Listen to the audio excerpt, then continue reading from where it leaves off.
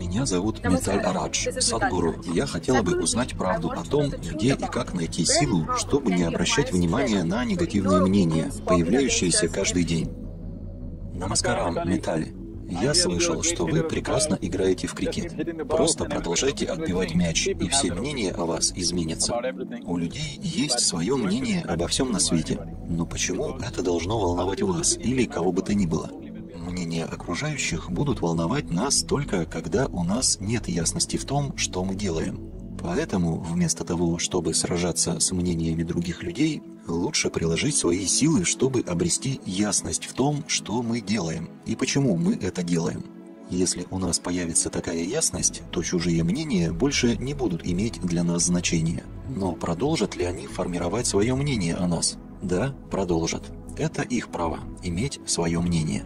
Это все равно, что ты построил дом в горах или джунглях и теперь боишься животных. Тебе не следовало туда идти. Или ты построил дом на рынке и боишься рыночного шума. Это место тебе не подходит. Ты живешь в обществе и боишься того, что скажут другие люди. Нет, это часть социальной жизни. Окружающие всегда будут судить других. В наши дни этот эффект увеличивается за счет социальных сетей. Но люди всегда имели свое мнение – если раньше вы имели дело с мнениями трех или пяти человек, то сегодня вы имеете дело с мнениями пяти миллионов. Все они свободно выражают свое мнение, и это совершенно нормально. И они могут говорить все, что хотят. Но самое главное – привнести в нашей жизни чувство полной ясности о том, что мы делаем и зачем мы это делаем.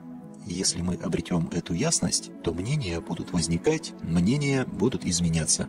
Просто хорошо делайте свое дело и увидите, как мнение окружающих изменится.